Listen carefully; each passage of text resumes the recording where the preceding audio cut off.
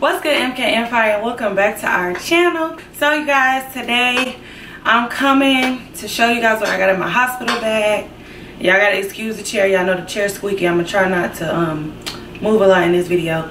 But anyways before we get into this video make sure you guys like comment subscribe and turn on your post notifications so that you can be notified every time we drop a video. Now usually we post every monday wednesday friday but lately we've been slacking. I've been tired it's just been a lot going on.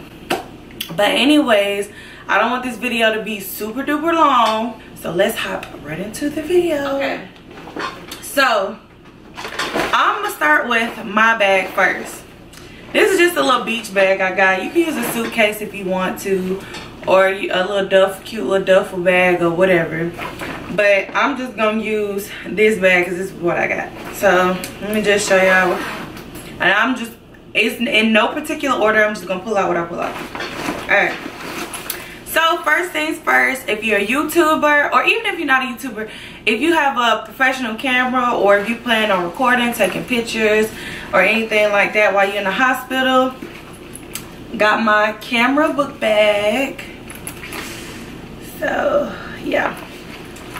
And in here, because you can't just have an empty camera book bag, I got an extra battery, battery charger, and then um I'm dropping stuff. The um I don't even know what this is. I think this is a car charger. I probably I don't ever use this, but I usually keep all this stuff in here and then the USB. Is this a USB port? Oh, this say HDMI. Well, I'm gonna have to pack a USB so I can um, upload videos while I'm in the hospital. That's what I got in here. And then, now something that I didn't bring the last two times that I'm gonna bring this time is some snacks, honey. I got a bag full of snacks. I got chips, fruit snacks, I probably put some chocolate in here because um last time I didn't bring any snacks and I was like, dang, I need something to munch on. The hospital provides food, of course, but you know, if you a snacker or if you just want to put snacks inside your bag, I would suggest to pack you a little plastic bag, put all your favorite snacks in there, and you'll be good to go. Okay, and then I got a little zippy bag with all my toiletries in here. So I got nipple shields because I plan on breastfeeding. And even I think some women don't breastfeed, but they breast still leak after they had a baby. So you might want to pack these anyway. Um, but I am planning on breastfeeding. So I have nipple shields on here. What they call nursing pads. Nursing pads. I got a travel size deodorant, travel size toothpaste. I got me and Mike toothbrush, a travel size Dove body wash, and a travel size of Jergens lotion. So all your little toiletries you want to put in here. then I got some fuzzy little socks. These are so cute. Somebody gave to me. Um, it's just two pair on here and they're the ones with the skids on them. So yeah, I'm probably going to, well, I know I'm going to wear this because I don't like them hospital socks. They move around a lot. Like they twist on your feet and stuff.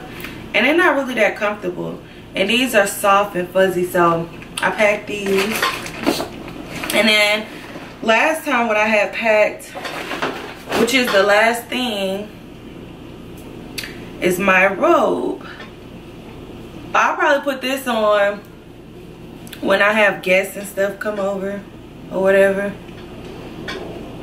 I'll um put this put this robe on but as far as underwear you're not gonna need it because the hospitals they always you know when they give they give you pads you don't need pads. That's extra. And the mesh underwear so you don't need to pack any underwear. Don't mess up your cute panties girl because you don't need it. Um they provide socks but like i said i don't like hospital socks. I brought my own. They have hospital gowns but you know it's always cold in the hospital so that's why i bought a fuzzy robe and i mean that's about it they take care of you they feed you they have water apple juice cranberry juice so you don't need no drinks. And they're gonna make sure you drink a lot of water anyway. So you don't have to pack no, no water or nothing like that. And yeah, that's about it. Very simple and ready to go. Oh, and also I cannot forget your coming home outfit. Right now I just have a shirt in here, but I am gonna put some leggings in here. So my baby girl's wearing pink coming home, so I want to wear pink too. So I got a pink shirt, and then I'm gonna pack some um, leggings to go in. Cause I mean it's cold out here and it's been raining, so I'm gonna have a, a jacket on anyways or a coat. So there's no point in me trying to look extra super duper cute coming home. But I know when I had my daughter, it was summertime, so I packed a cute little summer outfit. But you always want to make sure you wear something that's loose. Like that shirt I got, it's a t. It's like a big t-shirt. Well, it's not really big, but it's a um, it's a t-shirt. It's something flowy. You don't want to wear nothing too tight on your stomach, or um, I mean, I think some some people do come home in jeans, but I always prefer to wear something stretchy like leggings or joggers or sweatpants because it's something comfortable. Like you always want to be comfortable coming home because you're gonna be sore, your stomach gonna be hurting. So you just want to make sure you wear breathable and comfortable clothes. Now, on to the baby bag. Now, y'all, last year I bought, not last year, when I had my son, I bought a um, diaper bag book bag. And I fell in love ever since. Because with my daughter, I had a really cute purse diaper bag. And I love that too. It was so big. But I feel like when you have multiple kids, these are so much more convenient. Because all you do is just, you put them on your back and your hands are free. So one toddler's over here doing something. You can have the baby on your little wrap. And you, you can just handle your kids better like with this. And it has um, stroller, the stroller loops on here to loop on to your stroller, which I love. I don't know why I got, still got the tag. I need to take the tags off.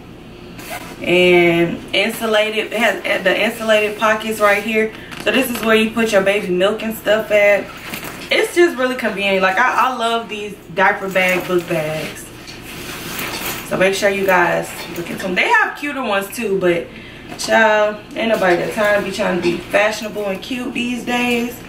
With three kids, this is cute enough. So in here,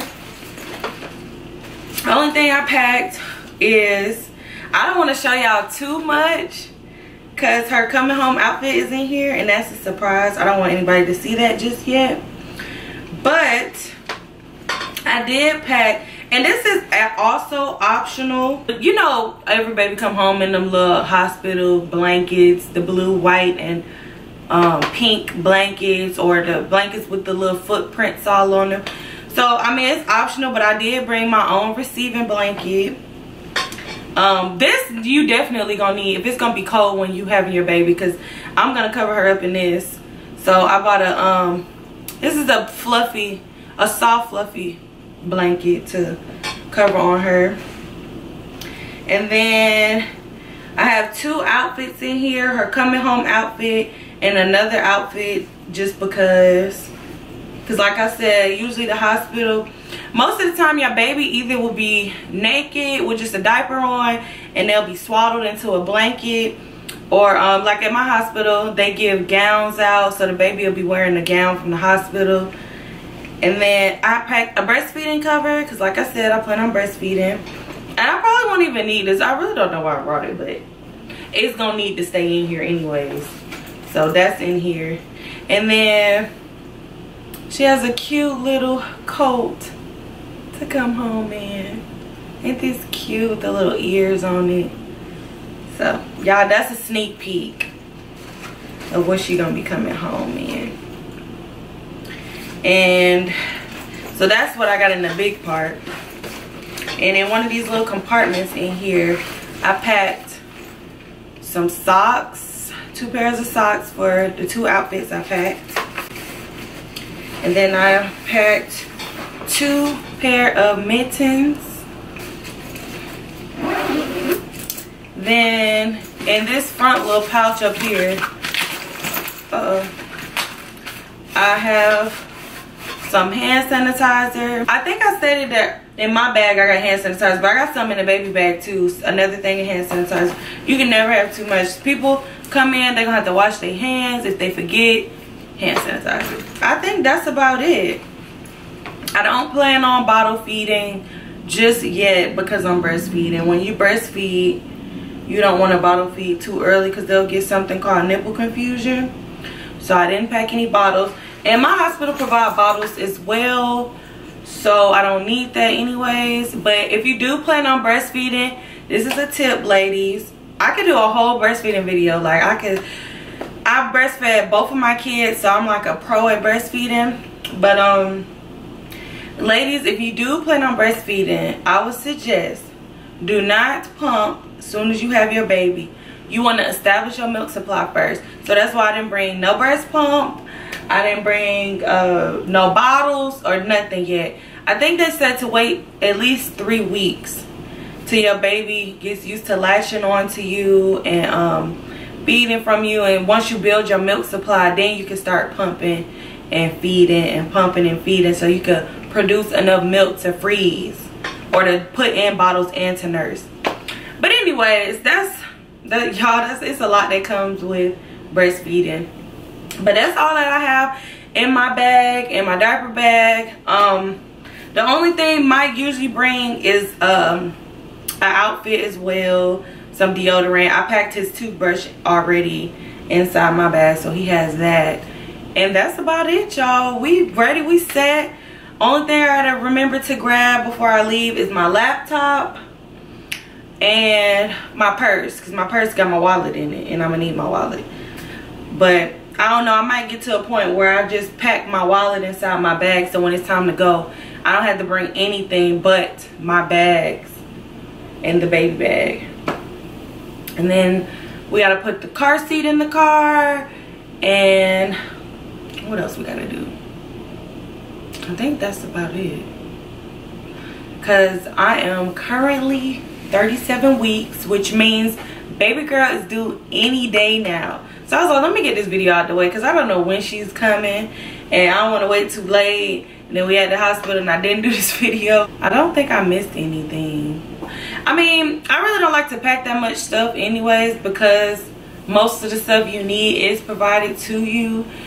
Especially for the baby. You don't want to pack no diapers, no wipes. They provide all that. And you want to leave some room in your bag to take some of them diapers and put it in your bag because that's what I always do. I always take what they have in there, whether it's lotion, baby powder, diapers, wipes, whatever they provide. And in the hospital, I use it and I take some home with me. Other than that, y'all, I'm ready. I'm tired of being pregnant. I'm so ready to have this baby. I'll be 38 weeks on Sunday. So, whew, let's hope and pray she comes. And I will do her baby update video very soon. So that concludes the end of this video. Hope you guys enjoyed. If you have any questions leave them down in the comments down below. Make sure you give this video a thumbs up and i will see you guys on the next video. I'm out. Peace